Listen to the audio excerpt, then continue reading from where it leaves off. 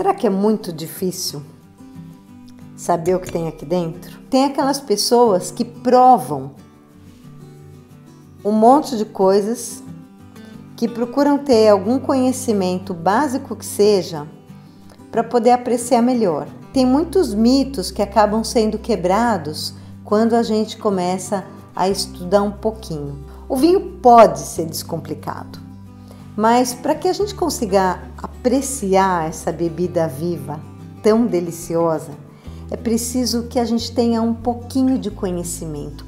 O essencial no conhecimento para que a gente consiga entender que subuá, caixa de charuto, maracujá, abacaxi não são invenções de sommeliers ou de químicos. Quando a gente quer apreciar uma boa bebida e não tem algumas noções básicas, a gente acaba indo ao mercado e escolhendo vinho pelo preço, se a gente quer qualidade.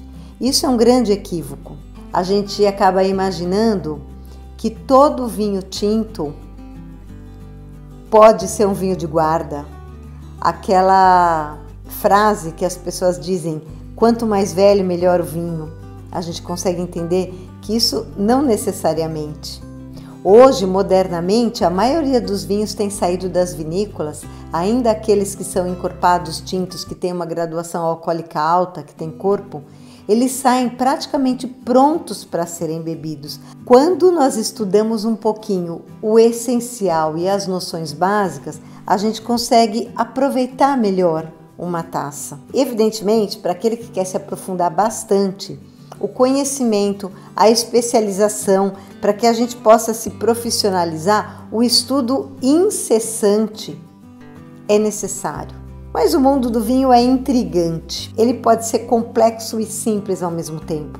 Se a gente tem alguma noção essencial, a gente consegue, dentro da carta de vinho e dentro do cardápio do restaurante, fazer uma harmonização decente, com um pequeno conhecimento. Não precisa ir no cerne da questão, conhecer todas as castas, todos os países, etc. Mas com um pouquinho de conhecimento a gente já consegue apreciar e comprar melhor.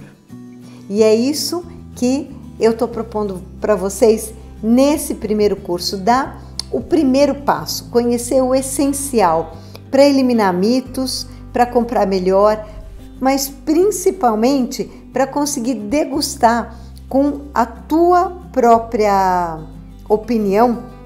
Mas quando a gente tem um pouquinho o básico da técnica, a gente consegue diferenciar um vinho que não tem boa qualidade de um vinho que tem boa qualidade. Isso já pode fazer uma diferença enorme na compra da tua segunda garrafa, por exemplo.